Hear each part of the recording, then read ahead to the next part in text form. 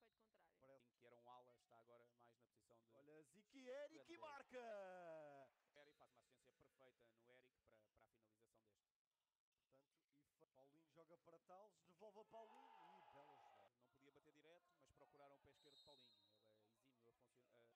Alex Merlin para Cavinato e golo! Este segundo gol importante, este empate, a ida do Candoso, já está a Rocha na quadra. Lá vai Ux. Cavinato, pode marcar e golo!